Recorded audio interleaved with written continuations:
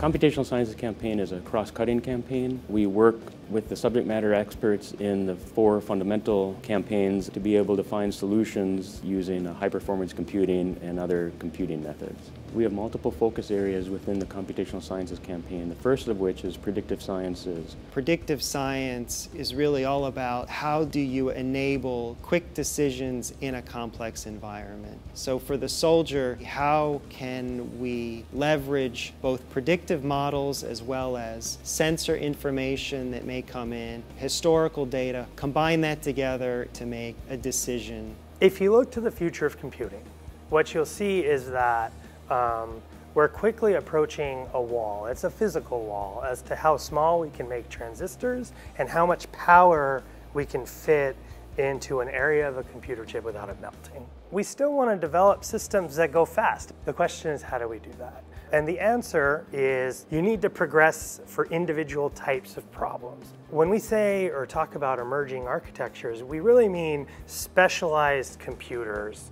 that work in a very unique kind of way to solve a specific problem very efficiently. We're interested in uh, bringing advanced computing capabilities to uh, the soldier in the battlefield, using devices that operate uh, within extreme size, weight, and power constrained environments, machine learning and artificial intelligence. So for example, your phone may last uh, a day, whereas the architectures we're looking at uh, may last up to a month. The last area is new methods for data intensive sciences, where we develop methods to manage process and also to reduce the large volumes of data that are coming from the battlefield and also from experiments within the laboratory to be able to understand those.